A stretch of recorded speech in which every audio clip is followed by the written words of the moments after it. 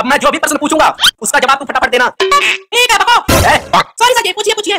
चल बता भारत की राजधानी क्या है? सर फटाफट।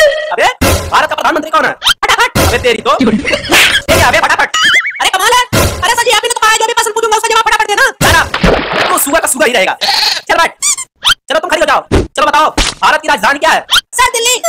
अरे वाह बेटी। देखो अबे और लंबे बाल वाले। देखो कुछ सीखो इससे। अरे सर क्या देखूँ? ये प्रश्न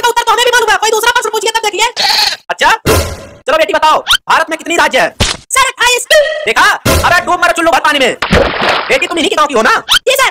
घर पर लफंगे पढ़ते पढ़ते नहीं है क्या? बिल्कुल नहीं सर। ये पूरे दिन बाइक से गाँव गाँव चक्कर काटते हैं। अरे क्या बोले पगली पगला नहीं है क्या? और तो और ये सर जुआ भी खेलते हैं। अच्छा बेटा तभी तो मैं सोचू मेरे प्रश्न का उत्तर ये लोग क्यों नहीं दे पाते हैं? सुअर कहीं